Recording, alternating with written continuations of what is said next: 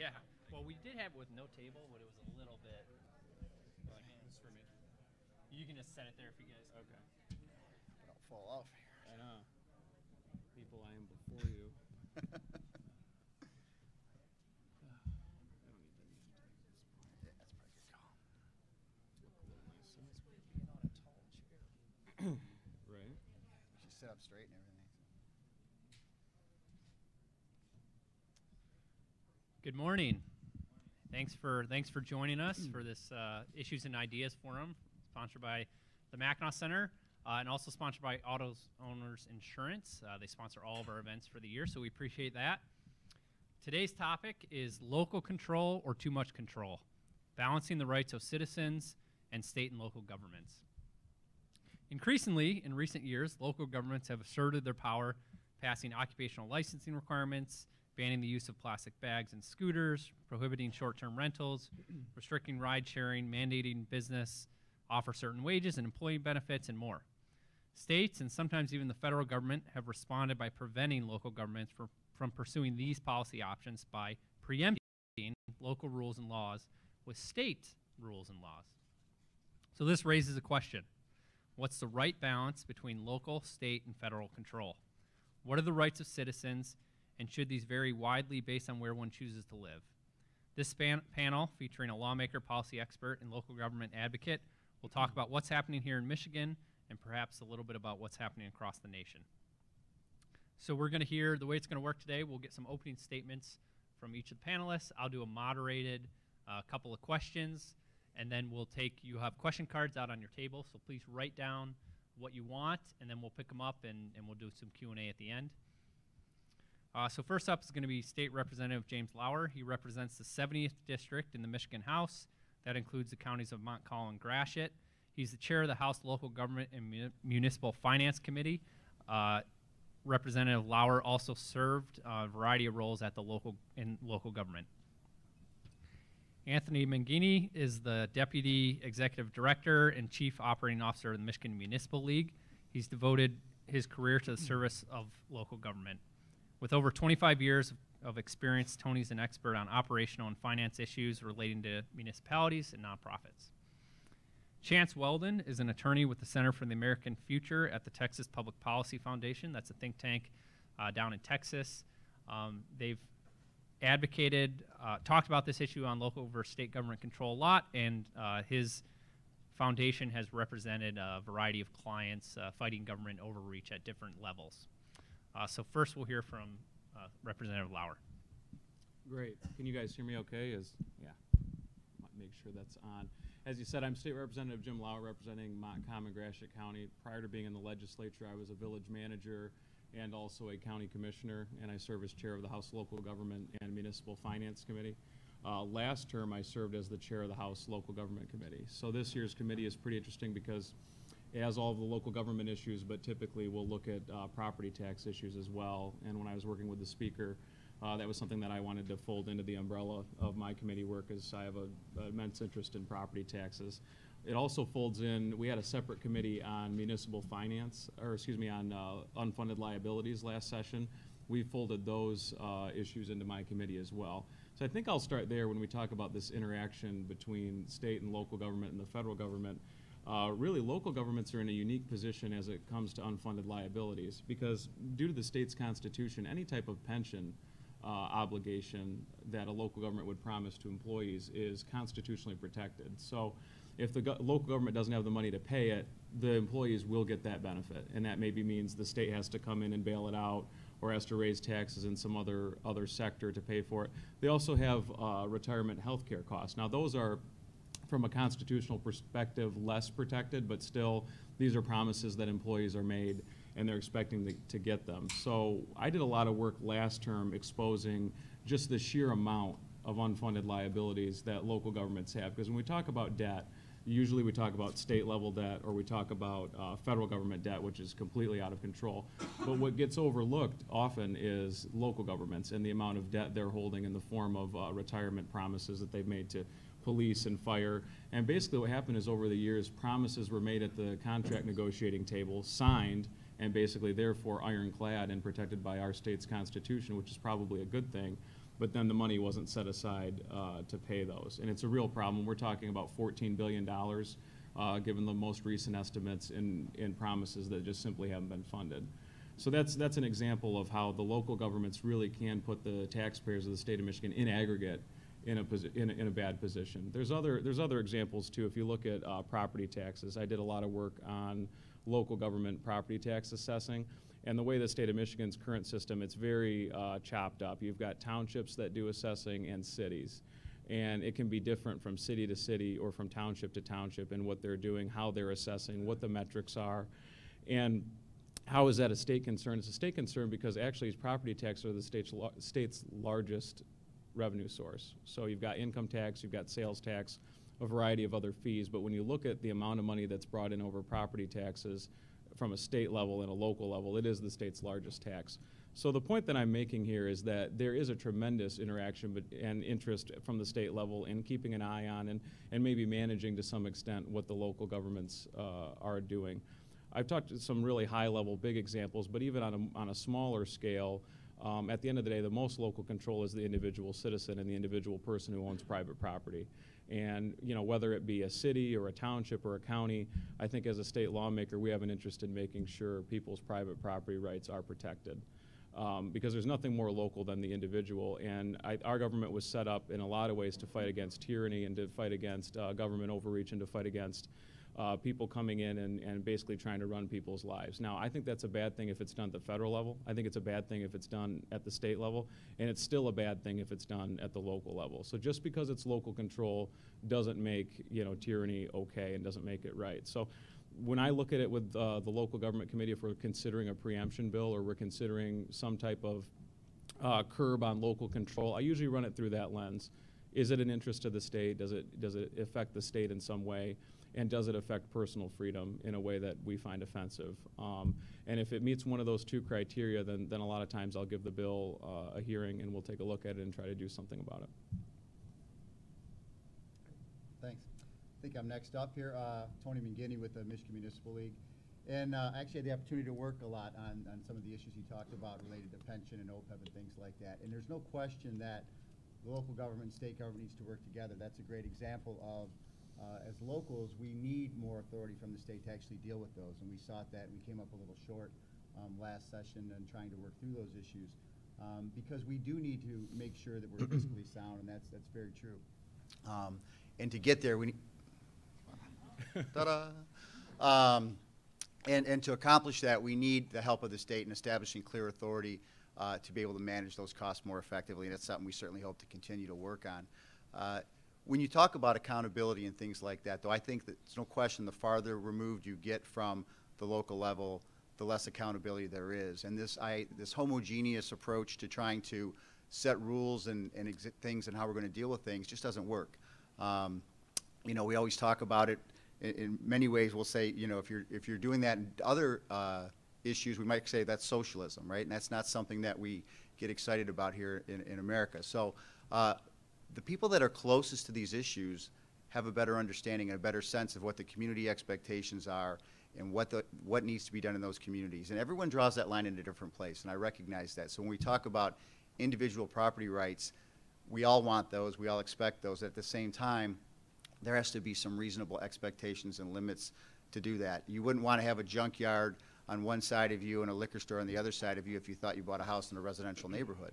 Um, and that's an extreme example, of course, but we're, we're really talking about degrees. We all draw that line in a different place, and someone needs to parse out issues. And we feel very strongly that at the local level, being as close as we are and having a greater uh, level of accountability to our citizens, um, that we think that's where that most logically should occur.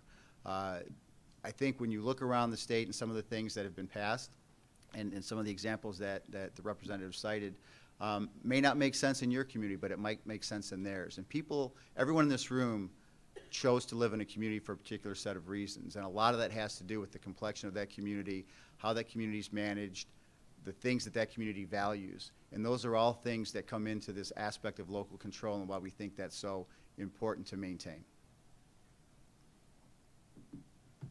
Awesome. Well, I guess I guess I'm up. Um, I'll wait for the microphone to kick on in the middle of me talking like it did with you. Um, So uh, thanks for everybody for having me. Um, my is Chance Weldon. I, I work for the Texas Public Policy Foundation. Growing up in, in Houston, I imagined when I came up here to Michigan, it would be like the ice planet Hoth from Star Wars. I was really, I was really pleased to see sunshine and trees and, and all sorts of beautiful things here. Uh, also, I'd like to thank the Mackinac Center for having us. They do a lot of great work in this space. They do a lot of great work on this issue, so I'm really excited to be here at an event with you guys. Um, as they mentioned, I work for the Texas Public Policy Foundation. We're one of the the oldest, largest, and I think most successful free market think tanks in the country.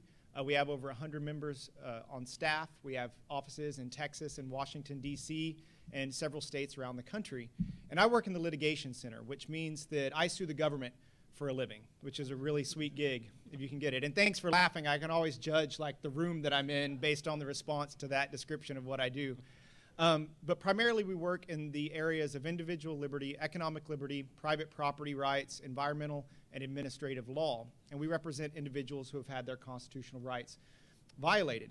Um, we originally began our litigation center by, by suing the federal government, but increasingly, what we've seen um, is that cities also get outside of their constitutional box. They also overreach and they also violate people's constitutional rights.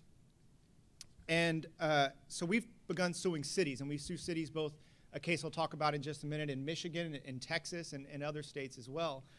And uh, the topic today, as he mentioned, is local control versus, versus local liberty. And I think it's an important topic because as conservatives and libertarians and free marketers, we spent a long time uh, fighting back against federal overreach at the state and local level. And we've, we've talked a lot about federalism and local control. And so what we've seen is as we start suing cities or getting the state legislature to claw back uh, city power when cities step outside their box, one of the first questions we always get is, well, what about what about all this federalism and local control stuff that you guys have been talking about for years? Aren't you guys being hypocrites by trying to rein in cities whenever they overstep their bounds? And my answer to that is always, well, you're using that word, but I don't think it means what you think it means, right? It's not a question of federalism or local control whenever city governments are violating the Constitution. And this question, this question of local control and local liberty, I think it misunderstands both federalism, local control, and even the nature of what cities are. The way that our government was structured, local control was not an end in itself. Federalism was not an end in itself. It was a means to a greater end, and that greater end was individual liberty. And the way that the founders set this up, Madison and others set this up, is each government, they divided power between state, federal, and local governments. And for this to work, each government has to stay in its lane, it has to stay in its box. And when it gets outside of that box, it tends to trample individual rights. Whenever you see a, a city government get involved in a matter of individual liberty or private property rights, um, that's not an exercise of local control. That's lawlessness. That's getting involved in an area where it doesn't have the constitutional authority to be involved. And let me give you just one example of a case that we're working on here in Michigan, which I think is a great example of this. Um, we represent uh, the Percy brothers and Frank Powelson, who are both here. Uh, well, one of the Percy brothers, Gary Percy, is here today, and Frank Powelson, who are our clients. Uh, and they got involved uh, with a situation with the township of Canton, Michigan. And Canton has a tree ordinance and under this tree ordinance, it is a crime to remove trees from your own property unless you pay the township up to $450 per tree that you remove, or you replant the trees that you remove with up to three replacement trees of the township's choosing. Now, our clients in this case, uh, the Mr. Powelson and the Percy brothers, they uh, got in trouble with the township because they removed trees, their trees, from their own private property without government permission. In the case of Mr. Powelson, uh, it was property maintenance. He had a, a, ditch that was, that was getting clogged and flooding his property and, in, in, fact, killing trees. And so he had to remove some scrub brush from near this ditch in order to, to clean it out. With the Percy brothers, uh, they removed scrub brush and invasive species from their property in order to, to plant a Christmas tree farm. So they literally cleared brush to plant trees. And in response for improving their property in this way, the township fined the Percy brothers over half a million dollars for moving trees from their own property. And so we sued. This violates the Constitution, it violates the Takings Clause, it violates the Eighth Amendment. Yet the first question that I got whenever I did a radio interview up here in Michigan was, well, what about local control? And the answer is that's not local control. That's lawlessness. It, things like individual liberty, private property rights, economic liberty, these aren't things that are subject to democratic control. No one should get to vote about how you use your private property. If you're not injuring your neighbors in some way, that's not subject to city council vote. Your neighbor shouldn't have the right to tell you what you can do with a tree on your own private property. So that's the issue that's before us here today. I think that state, the state legislature and the courts have a very vital role in our federalist system in reining in local governments whenever they step outside outside of their constitutionally mandated box. And uh, I look forward to taking y'all's questions on these on these issues and talking a little bit more about it. Thanks. All right, thank you. So I'll start us off with a kind of couple of discussion discussion questions. Is my mic on? Good. Um, so some of you guys kind of hit over there's there's obviously extremes on, on both sides of this. So on the one hand, we do violate local control in this country uh, through the, as uh, Chance pointed out, through the Constitution. You couldn't have a local government, you know, banning religious groups from, from set, setting up places of worship or something like that. On the other hand, you know, we don't really want the federal government involved in, you know, naming town streets or something. So can you each kind of talk about how you personally uh, or your, your group draws draws that line? Who starts? Uh, let's uh, let's start. We'll just start move that down that way. Okay, so start with Go Tim. ahead, Chance. So I think that uh, I think the first place that you have to start with these things is the Constitution. You know, the Constitution, whether it's your state constitution or the federal constitution, lays out specific powers that each government has the right to exercise. You know, and the way that you know, it, it's sort of a, I call it the Goldilocks and Three Bears approach to uh, to governance. The way the founders saw it is that the federal government is too far away and it's too distant and it's too bureaucratic. And local government, according to Madison, because it's small, it's subject to faction. It's subject to being captured by, by interest groups. And the state government's sort of just right. You know, as long as you cabinet in with, with federal constitutional protections, it's going to sort of respond to both of those concerns. So basically, if it's a matter of you know naming streets or potholes or, or basic land use regulations, that's something that local government should be in charge of. And um, if it's something with interstate commerce or you know foreign invaders, that's something the federal government should be involved in, or one of the enumerated powers in Article One, Section Eight. But for pretty much everything else, it's going to be the state government, or mo- more importantly, it's going to be individuals. You know, it's who decides. And in most cases in our system, the individual property owner, the inv- individual business owner, they're the ones who get to make those decisions. So, so I'd break it.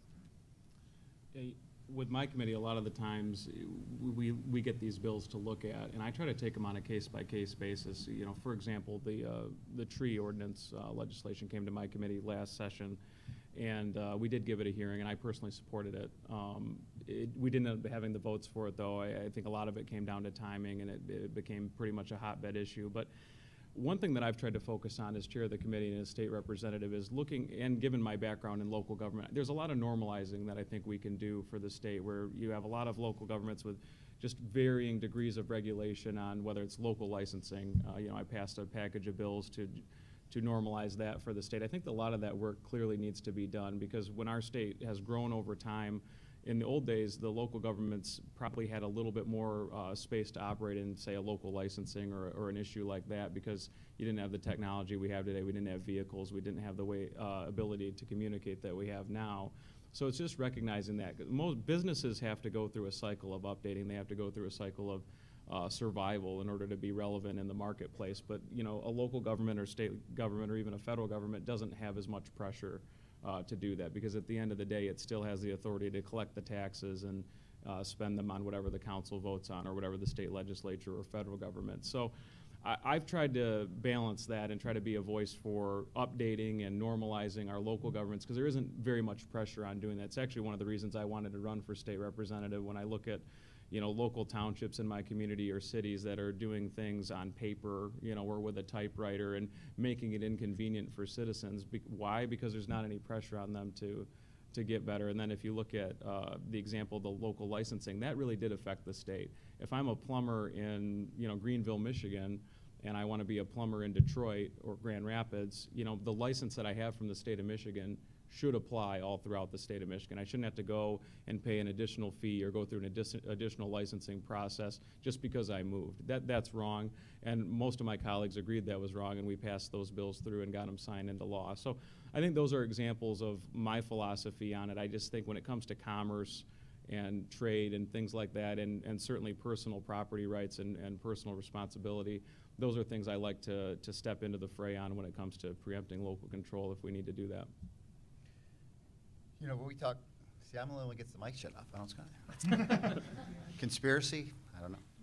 Uh, You know, when we think about this a lot, again, I come back to some of my opening comments. Um, One size fits all approach rarely if ever works. And uh, when we've seen that try to happen at the state level or the federal level for that matter, it usually is problematic. We represent cities, everything from Detroit to the smallest little, you know, cities and villages in the UP.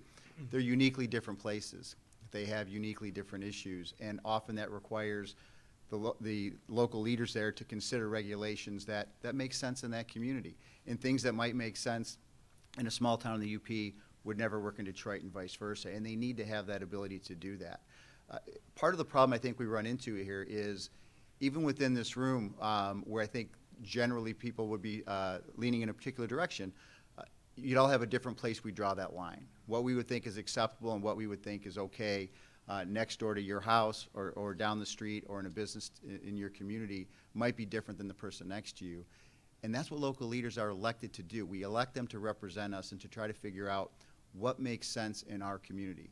Uh, you know, you talk about things like uh, the plastic bag ban thing. Some of us might find that to be silly.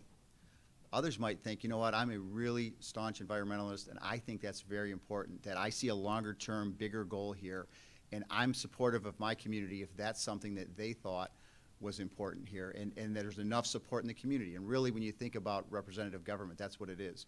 We're electing folks that, in theory, represent the community at, at, at large, and the decisions they make should be reflective of that. If not, you elect somebody else, and, and the, the things change. And we see that at every level of government, um, and you see the tide shift in both directions. So when it comes to these individual things in these communities, it's different. You know, I, I'm sure at some point we're going to talk about short-term uh, property rentals.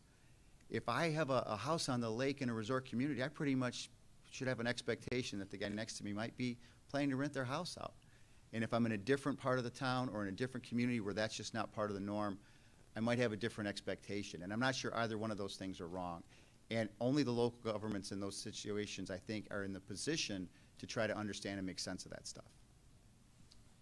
So uh, Rep. Rep. Lower talked uh, a little bit about the pension retiree debt uh, situation, um, and I think there has been that was one issue where there was disagreement, and, and there there was some consensus on some parts of, of that bill package, which essentially made it so that um, local governments have to report what that debt is, and, and kind of if it if it gets below a certain level to come up with a solution to that, and they work with the state on that. That kind of triggered in my mind um, some of these situations we see in Michigan, especially uh, for that and for uh, the school system, where a lot of the funding comes through the state for the school system in particular, but you do have these local school boards that make some uh, you make some decisions. And then in the pension retiree debt situation, like we saw in Detroit, the state was ultimately on the hook uh, for a lot of that debt, which required um, funding come from the state level. So, can you talk specifically about that, um, where the state does have a responsibility because it's constitutional protection on pensions, or is responsible for funding for the schools, and yet what what is the responsibility? We can we can start uh, maybe Rep Lower, you can take that one first. Sure.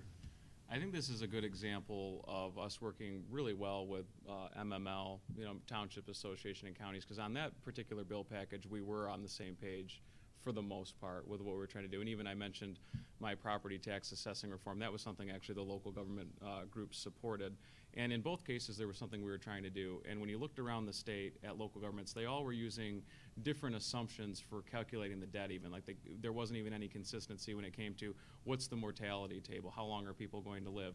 What uh, assumed rate of return are we going to get on the investments? um, and a variety of other factors that, that either increase or decrease the liability. So it's all over the map. You're talking about literally thousands and thousands of different pension and retiree health care plans that had various levels of, of funding and various levels of management. Some were very well managed, some were, you know, kind of in the middle, and then there were others that were very poorly managed. But in, in every case, if something were to go wrong with it, as I mentioned in my opening remarks, the state's on the hook for it. So that's something we had actually partnered with the local governments on to try to try to find a solution. And it got very political. I, ironically, in that case, we weren't really fighting with our friends in local government. We were fighting more with the uh, union special interest groups because they didn't want to see uh, they didn't want to see the reform on it because the flexibility that, that's allowed under current law would have gone away in a lot of ways. One thing we were proposing is something as simple as if you're going to make a promise for a pension at the local level, then you have to fund what that costs both today and in the long run and make those payments where currently under law there, there isn't really a strong requirement um, to do that. So one thing that we did get done with the bill package was trying to at least use consistent assumptions throughout the state. So if I'm comparing the city of Greenville to the city of Alma in my district, when I'm looking at the pension plans, I have some comprehension of an apples to apples comparison.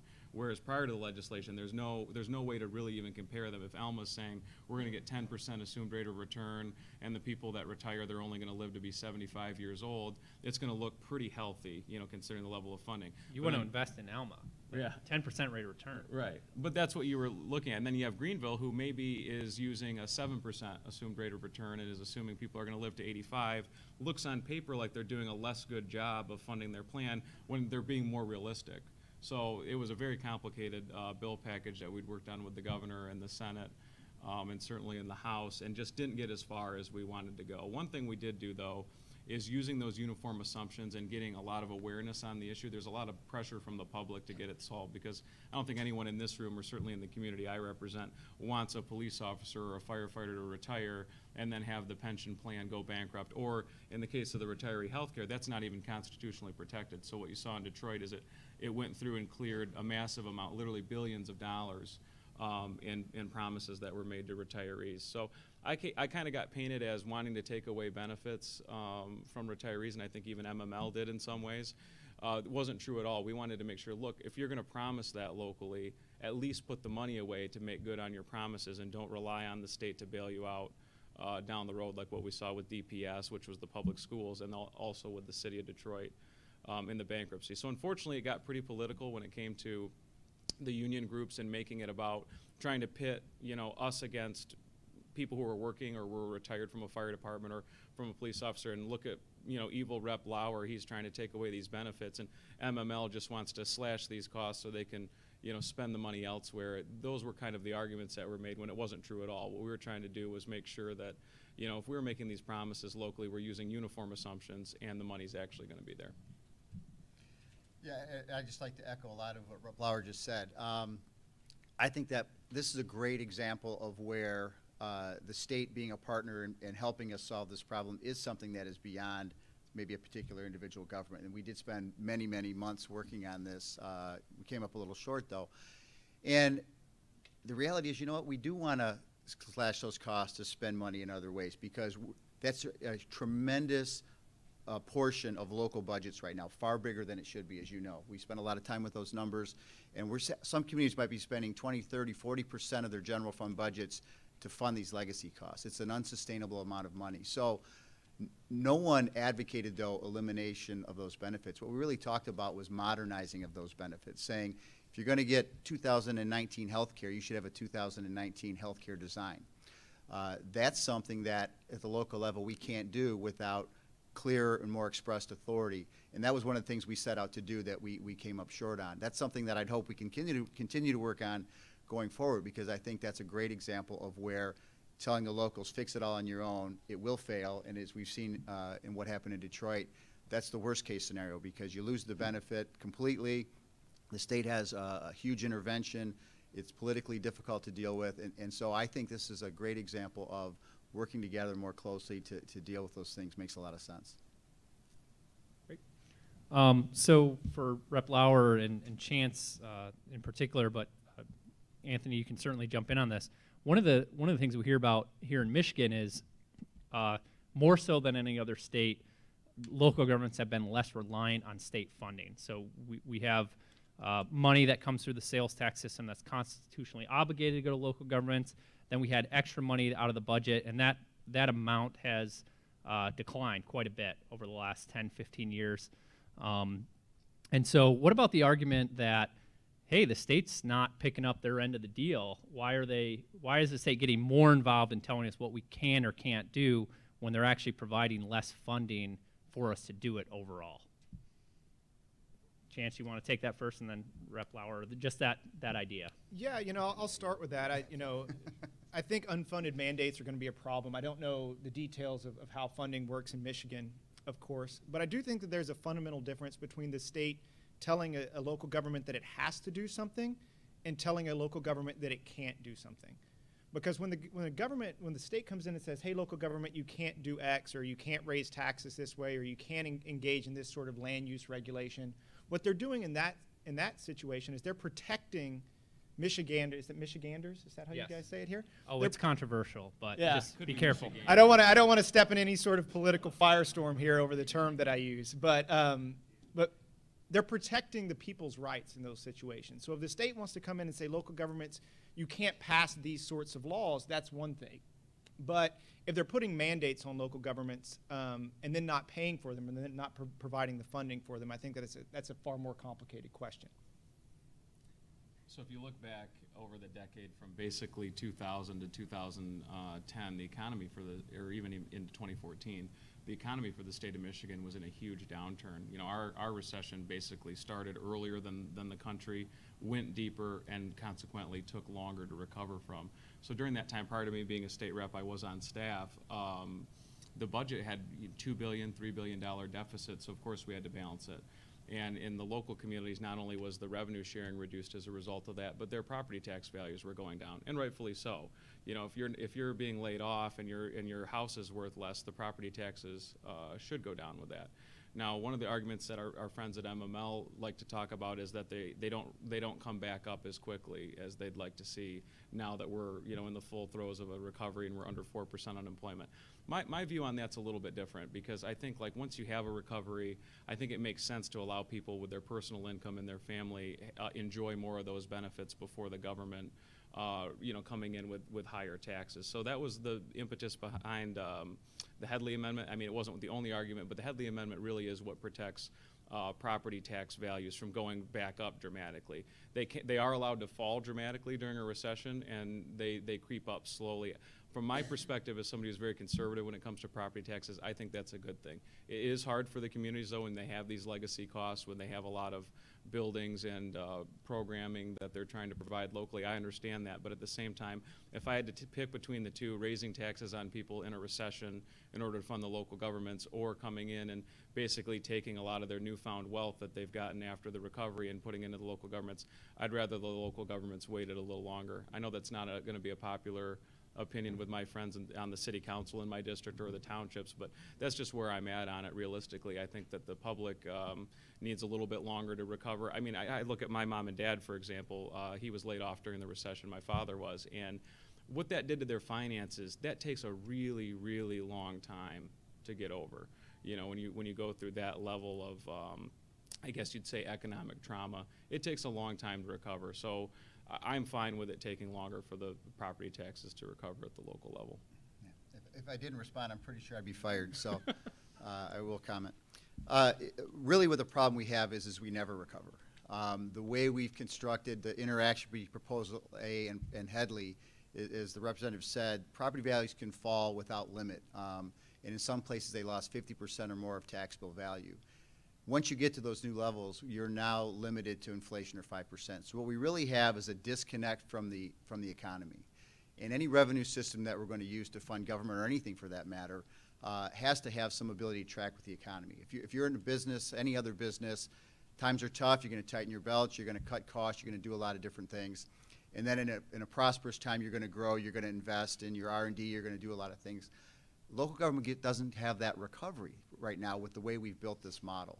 Um, we always knew the math worked that way, but we never really saw it manifest itself like we did in, in the Great Recession. So when we saw these incredible drops now, um, two biggest sources of revenue in local government are property taxes and revenue sharing. Um, both of those are down dramatically. Uh, we've diverted over $8.6 billion, if you go all the way back to, to 2002, uh, away from local services to fund state government. Uh, sadly, I've been around long enough to remember days of pre-proposal A and how we sold that. And part of Proposal A did a lot of different things, as, as you may know. One of those was, was cities used to get a lot of different pools of money from the state. And one of the things that was uh, presented to local government at the time was, we're going to get away of all these other things, income tax and intangibles tax, and you'll get a larger piece of the sales tax because it's more stable. And that's very true, because even during the economy that fluctuated wildly, sales tax was a very stable source of income.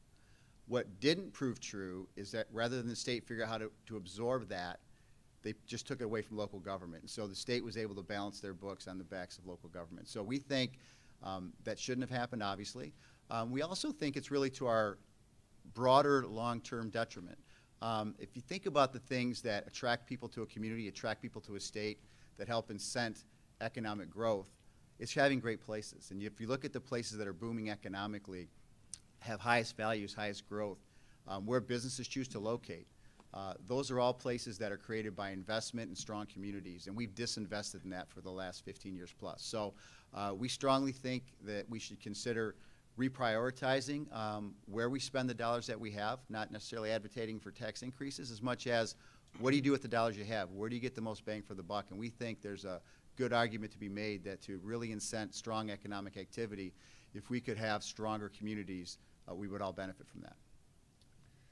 Um, so, reminder, you've got cards on your table. Go ahead and fill them out. I'm gonna, I'll do two more questions, and then we'll we'll take some stuff from the audience.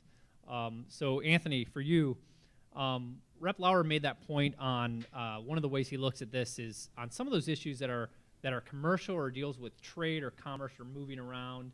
Um, you know, the example he talked about in the local licensing of of somebody that works in one town and lives in one town wants to work in another does it make sense to to kind of have that done at the state level? Or i'm also thinking kind of the example of another one we fought over in michigan a couple years ago um, on the uber issue.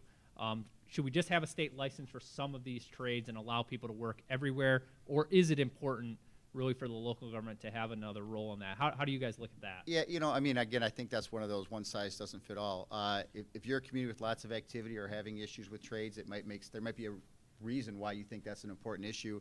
In other communities, it, it's not. So I don't think that that's something that you can just say it should always be this way or always be that way. And I think that's where we often fall into a trap um, of trying to paint everything with the same brush. And, and there's things where we would all agree. Everyone would agree you wouldn't want to have a, an 18-wheeler driving down a residential street. But that's a local ordinance that would regulate how, how we're doing those types of things. And we would all say, yeah, that's silly. And it's where we draw those lines. And it's hard to anticipate every situation that you're going to encounter uh, in a local community as to whether or not they should or shouldn't have uh, the authority to do certain things. Um, so, Chance, I had I had a question for you. Um, this isn't just a local Mi- uh, Michigan issue; it's it's happening all over the country. Can you talk a little bit about um, what what you guys have seen? I know you've litigated on behalf of people and and are, are are seeing this in other places. Is this a new thing? Is there an increasing way local governments are looking at some of these issues? Is it the same old fight? Can you can you discuss that? Well, I think in, in one sense it's not new. Of course, Madison pointed out back in the seven, you know, the 1790s that, that local government was subject to trample on individual rights, particularly even back then in areas of economic liberty and private property rights. Those were the issues that he feared most with regard to local governments. But what we've seen increasingly, at least in Texas and in other places around the country, is that you do have this idea in local government that they're not a government almost. They think that they're a homeowners association, right? That they can nitpick and whether it's what you know the, the height of your bushes or what you do in, inside your house whether it's whether or not you rent your house for less than 30 days or whether or not you uh, what time you go to bed and in particular in austin they regulated bedtimes for short-term rentals which was crazy um, but um, I can't even do that in my house. yeah, and, and so that this idea that, that somehow because it's local and that it's close to the people, that that makes tyranny okay. That if we all get together and we discuss it at a city council meeting and then they, then we vote for it, that it's okay to say that, you know, guess what? You can't work for Uber or you can't work this many hours in a week or you can't let someone stay at your house for less than 30 days. And those are, those are issues that have always been best decided and fundamentally must be decided as a matter of fundamental natural rights by individuals and not by government and not by democratic institutions. And, and somehow along the lines, we've lost that, particularly at the local level, with the, these local city councils deciding that they're a neighborhood association that just happens to have the, the power to throw you in jail. So, um, so we've seen that, that we've, we've seen that increasingly in, in Texas with, with cities, and we've seen it also around. So, so yeah, to answer your question, yeah, it is, it is getting worse, but we're fighting. Uh, these are great questions, so maybe I should have uh, cut my moderating down, or that was a way of people telling me that. So we have some good ones to get through here.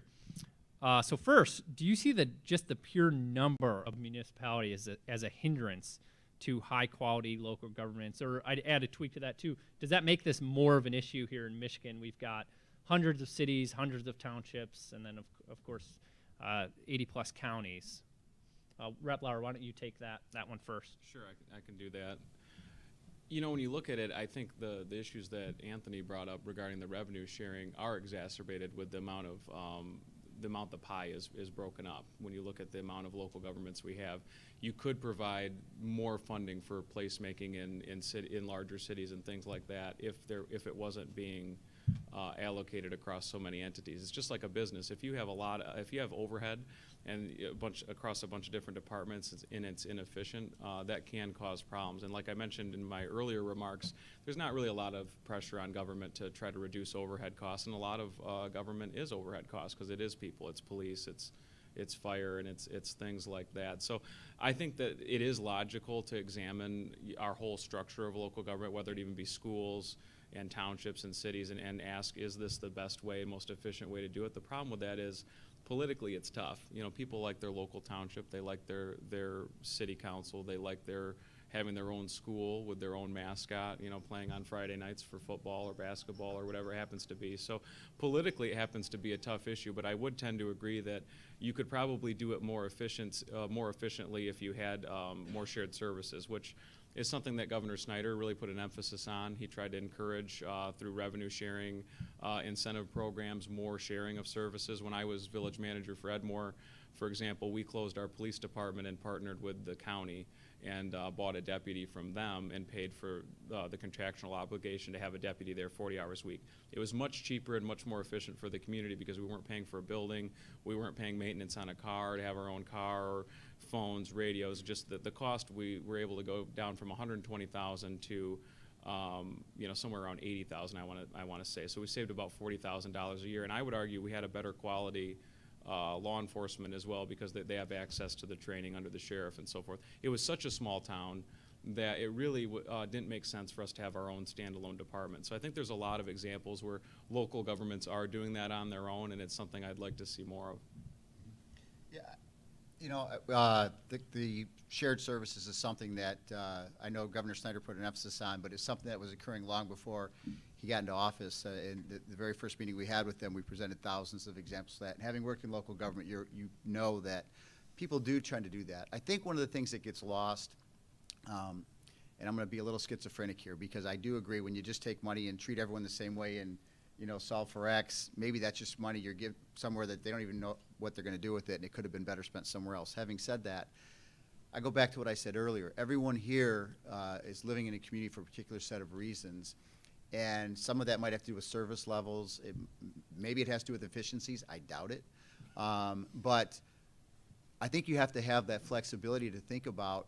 I live in this community, and, and I, I'll t- give you a good example. I, I actually lived in Canton Township for a time and worked there, in Plymouth Township's immediately to our north.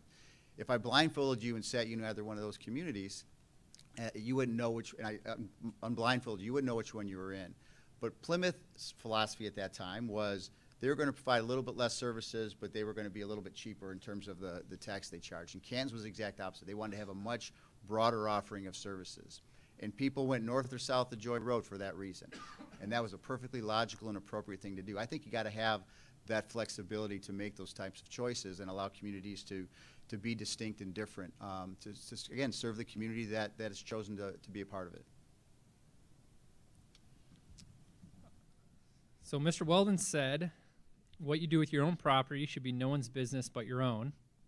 What about these scenarios? It's not exactly what I said, but close. Some, something like that. Uh, what about these scenarios where personal use of property does affect neighboring properties? The short term rental issue is an example, uh, does that change the calculus and how much local control to allow? So, uh, to answer that question directly, you don't have a right to use your property in ways that actually injures your neighbors. And it's, you know, since time immemorial, local government has the right to enforce nuisance laws. With short-term rentals, they can enforce noise ordinances, they can, you know, enforce, you know, parking and trash ordinances. If you're, you know, people are urinating in your bushes, you know what? The city should probably come out and do something about that. Um, and, and that's certainly within the local police power to do that, always has been. That's not part of your property right to create a nuisance. What they don't have the authority to do is come in and say, hey, everybody be in bed by 10 p.m. Or if you want to rent for 31 days, that's okay, but if you want to rent for 29 days, it's not. Or they don't have the right to say, hey, look, we really like looking at your tree, so we're going to fine you half a million dollars if you cut it down. Those aren't things that are subject to neighbor control because those aren't things that injure your neighbors. Those aren't real nuisances. So I think that's where you draw the line. If there's some property use or something going on on a property that's actually harming a neighbor, look, cities have always had the authority to, to regulate police power problems, enforce your noise, your noise ordinance. Um, but if not, then they need to leave those decisions to, uh, to individuals. Great. Or- oh. Go ahead. Oh, I Anything didn't to know add? If you want us to chime in on Sure. that or not. Anything? If you got anything to add, go for I it. have a couple things to add on that. You know, there, there's some examples um, that I can think of just off the top of my head that have to do with legislation that even has come through my committee, or even when I was city manager. So I'll, I'll start with the local level one. We had a gentleman who wanted, who was building a new house in, in town, and it was the first new house that had been built in probably a decade, you know, just because of the recession. So he's building the house with an attached garage, and he also wanted a detached uh, garage in the back and he had to get a uh, zoning variance for that for a variety of reasons. And the way that works is you have a public hearing on it, and I thought we should approve it, and I think the council did too, and we did ultimately. But the hearing was pretty interesting because the folks that turned out, um, their arguments were, well, we like we like looking through the back of that property, and we can see deer running around back there, and uh, you know, it just th- that garage back there is going to obstruct my view into the forest. You know, I don't think that's fair. I don't think that we should, you know, place government regulations on people because the neighbors happen to enjoy the view. I mean, that person had a right to build the garage, and we, we let them build the garage. So that's a that's a local example. Another in the in the same vein, we had a, a bill that passed and ultimately was vetoed, but we're working on again this this session that has to do with uh, foster care facilities. Now, the neighbors of this proposed foster care facility came in and said that um, you know, these kids are bad kids. You know, they're going to be running around in the neighborhood, run amok. You know, I, I don't want them there. You know, basically the whole premise was is that foster kids are by definition bad kids. Therefore, we shouldn't have this foster care facility. That's that's just categorically wrong in my opinion. But the other element was there was more to it than that. They also enjoyed letting their horses loose and letting them run around on the property, and they wouldn't be able to do that if there was a building there. So, I mean, I think this is the flip side of the coin of like your neighbor's property, you know, what they're doing on it impacting you. Well, maybe it impacts you, but maybe you shouldn't be freely using your neighbor's field to, you know, let your horses go or, or just categorically deem, you know, foster kids to be bad kids, and they're going to cause all sorts of quote unquote ruckus, you know, in the community. So, that's just an element of it that I try to take into account when we're looking at this too. Question here. So, if a local government fails to address a major issue, does that give the state government the license to intervene? Or conversely, uh, if it's, or vice versa, if a, if a state government fails to address a major issue, does that give the local government a license to intervene?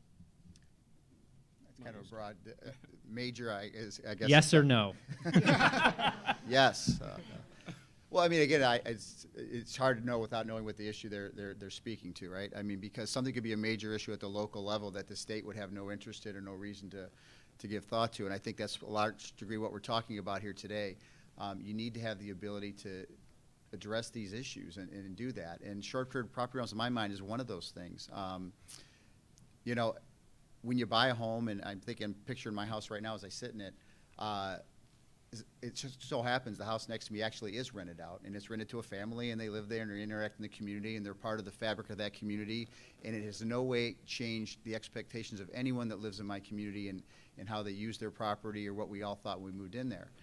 If I had a new family there every week, um, I, I don't think that'd be the case. And I think that does have an impact on how everyone else's property is impacted. It would make me uneasy to have my children playing in the backyard and running around freely. You know, you get to know your neighbors, you get to do stuff. That's a real thing.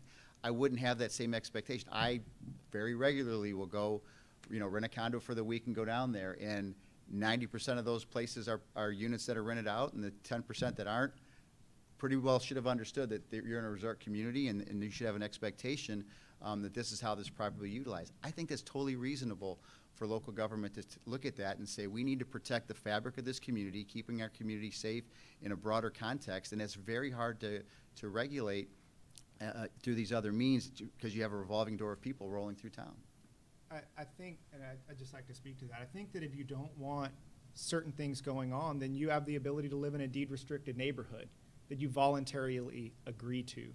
And at the end of the day, government isn't a neighborhood association and it's not a homeowners association and it's not something voluntary. It's the decision, when government gets involved in something, it's the ability, it's the power to come with a gun and say, if you're not gonna do this, then I'm gonna throw you in a box. And that's what these regulations are. That's what a tree ordinance is, that's what an STR regulation is. It's a group of people saying that we think that you shouldn't do this with your property, and if you do it, we can punish you for it. We can send men with guns to punish it, punish you for it.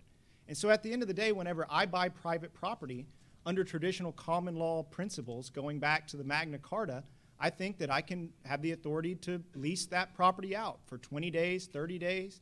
And unless there's something in my deed that, it, of course, if I have a deed that says that I can't do that, then I can't. But for people to come along after the fact and come to a city council meeting and say, I'm going to take that property right away from you because I would prefer my neighborhood to look different, it's it's the same ugly sort of thing that we used to see that we used to see in the South that people get to decide what their neighborhood wants to look like, and we get to use guns to do it. And so I'm probably a little more fired up about this issue than I should be because I live in Austin and I deal with this craziness all the time on every on every on every sort of issue. But I do think that there's a fundamental issue here, which what does it mean to own private property? What does it mean to purchase something and own it? Does it mean that your neighbors get to decide what you do with it? Or does it mean that you get to decide what you do with it so long as you don't hurt your neighbors?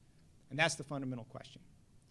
You know, I think there's some good examples that we talked about earlier in terms of OPEB and, uh, which is unfunded healthcare liabilities, and also pensions being too big of an issue for the local governments to challenge in, or to, excuse me, to tackle individually on their own, and that's something that we, we agreed on. I don't want to get lost in this discussion about local control, that the fact that there are some good innovative things happening at the local level that do make sense to have happen there.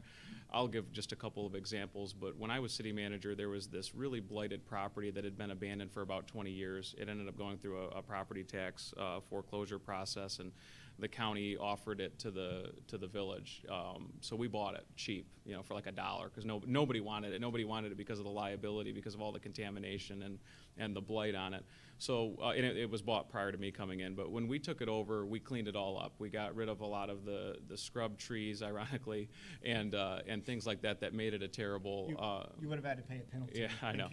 Uh, that made it a, made it really you didn't get the permit. made it really an ugly property and something that was a huge drag on the downtown. It looked terrible. You know, as you came into town, it was awful, and it was dragging down the property values of all the neighbors. So we were able to solve that. There's a lot of interesting things going on in my district with homelessness and Alma that they're tackling uh, through their local community churches and kind of some local problems that are being solved in a way that's really innovative and kind of exciting. So there are examples where the local governments can do a good job, you know, solving kind of a niche issue like that that I don't really think that a, a statewide policy makes sense on.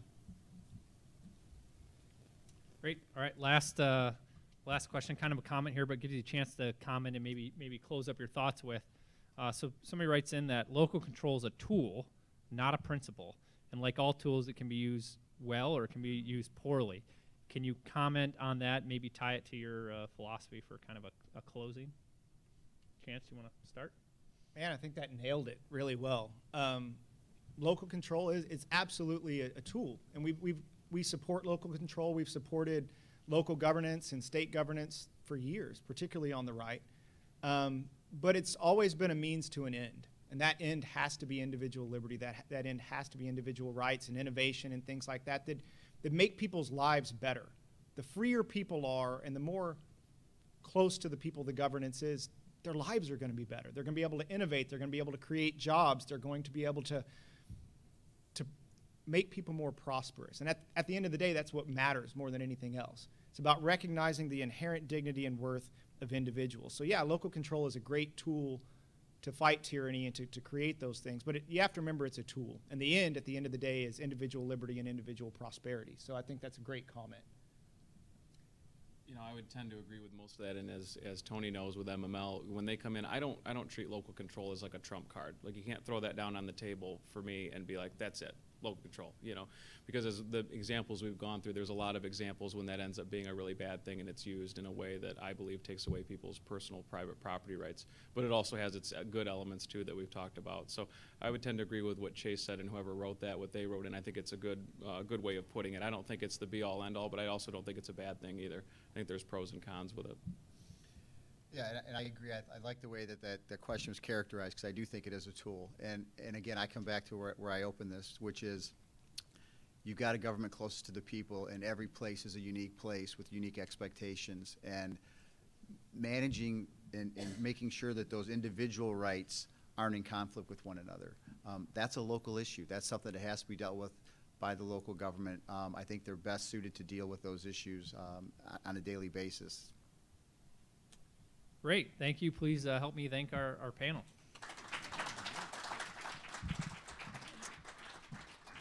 Thank you for coming. Um, feel free to, to grab uh, some drinks on your way out or some publications if you're interested. I'm sure these guys will stand around for a, a minute or two.